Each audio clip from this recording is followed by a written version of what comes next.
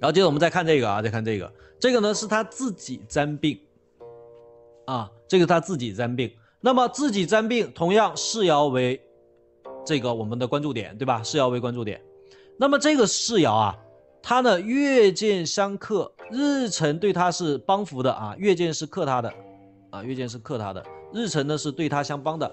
那么这种情况下，这种情况下，他呢其实并没有像我们前面所说的这个人好像很差，对不对？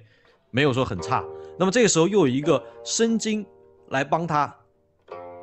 又有一个申金来帮他，按理说这件事情应该是好事，啊，我们这个卯木呢好像没有对他们产生什么样的作用啊。这个申金来帮这个亥水，按理说应该是好事，对不对？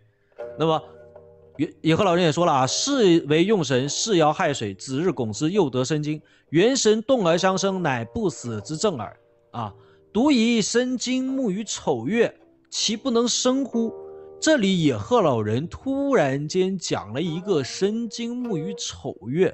但是讲三木的时候，野鹤老人是明确指出三木是日辰木、动爻木以及变爻木，啊，一般情况下，一般情况下是不论月见的木库的。那这个卦里能不能论呢？可以简单的论月见木库，啊，可以取月木之象，但是不能论实质。所以我觉得这个卦象出现问题的主要原因不是因为申金入木。你们可以找找问题，找找原因。就这个申金这个元神，它属于我们前面所说的这个元神无力的哪种情况？属于我们元神无力的哪种情况？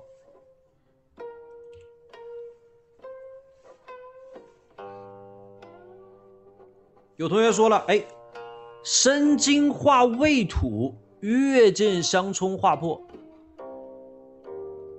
对吧？画破。啊，也是画空，画空破，画空破，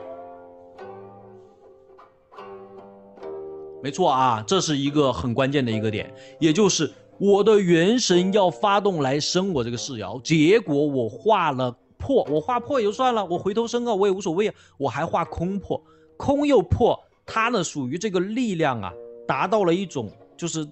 基本上暂时没有办法去帮忙的这种情况，也就这个申金暂时可能出现了一种完全无力的情况，去帮助这个世爻，完全无力的情况去帮助世爻，而且，而且你说就这样就算了，卦里面还有一个日辰子水去冲午火，这个午火会形成暗动，初级课里面讲过的啊，午火会暗动，午火在暗动去克这个申金。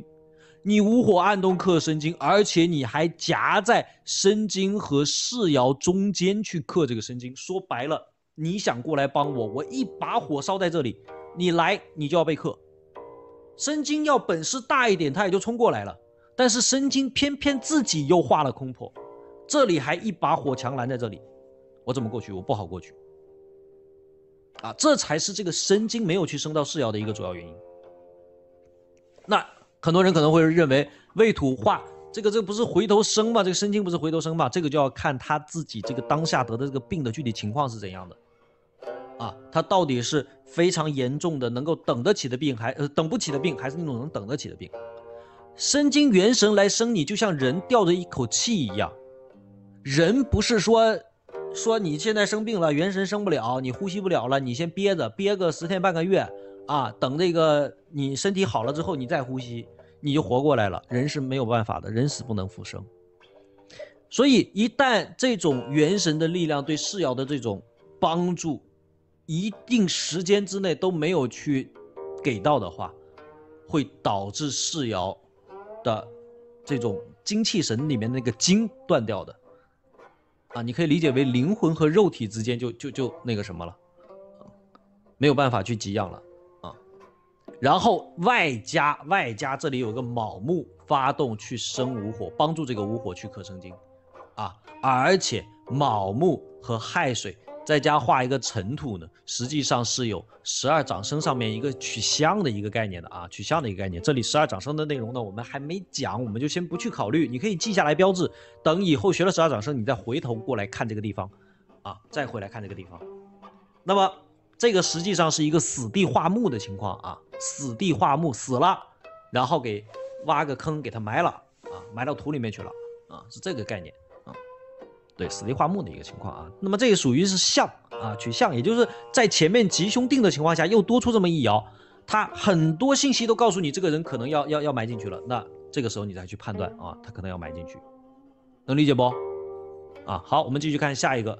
那么这种情况下，其实野鹤老人呢，他不管是从悦目的角度去理解，还是从其他的角度去理解，我相信以鹤老人一定看到了其他的信息，啊，他只是没有写出来。总之，他怀疑有一个生金来生他，在这种情况下，这个生金到底能不能生得起来呢？他到底能不能熬过这个月呢？他心里面一定会犯嘀咕，所以他让他的母亲又起了一卦。在同一天，让这个病人的母亲啊，请医母再占一卦。这个是野鹤老人，我前面第一节课讲的，就是再占法。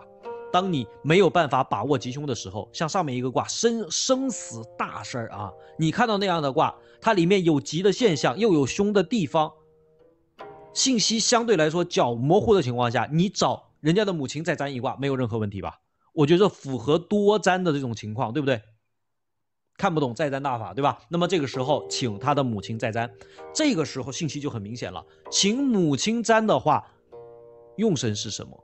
我们最关注的是什么？请母亲来占，最关注的是什么？对，等于复查了啊！你你去医院看病的时候，你都需要很多，对吧？人家也会联合会诊啊，你也可以这个仪器查查，那个仪器查查，最终确定你一个病是什么啊？所以我们。测卦也是一样可以的啊。那么母亲测儿子，母亲测儿子，儿子是子孙，他最关心的是儿子的身体状况如何，就跟你孩子测父亲，以父母爻为用神，对吧？所以我们这个时候要去看子孙爻，那么而且子孙爻又恰好在这个卦里面发动了，恰好在这个卦里面发动了。这个子孙爻，它发动画出一个父母荧幕回头客，也代表着这个儿子他要画回头客要出问题。只是呢，这个丑土啊，当下是临月见，再加上日辰给他有一个合的作用，啊，让他的力量在当下呢是比较强的，啊，目前可能没事，但是交春现在是冬季，现在是冬季，冬季可能没事。换月的时候，换月的时候，一到木月的时候，啊，木旺克土的时候，它就没了，啊，同样的，前面一个卦也是你现在是申金元神逢冲的一个时间，正好下一个月寅月就是元神逢冲的时间，能理解不？啊，那我同学说另外一个子孙也破了啊，你可以参考这个子孙也破了这个现象啊，那么主要还是这个子孙回头客的情况。啊，回头客的情况，那么这个呢，就是啊，母占子，子孙为用神，丑土子孙虽逢月见，不宜动化寅木回头之客。木下无妨，交春木旺土衰必死。又和乾卦亥水四爻得生金元神相生，寅月冲去生金者为乙。果然卒于交春之月，也就是交春之日，也就是立春那一天。啊，很多情况下在换月的时候会应验事情。很多事情，你如果测卦测得多，你实战多了之后，你会发现交月的时候会有很多很多卦象应验。啊，那一天你的信息会经常收到啊，这件事情怎么怎么啊，那件事情怎么怎么了？哦，你说的个什么什么，很多人会给你回复的反馈的。啊，二月四号左右啊，大凡占病，一家俱可代占，合而决之，生死之月日可知矣。故卦宜多占，断福祸而更稳。啊，这个多占不是让你，嗯，凭着自己的主观意念瞎占啊。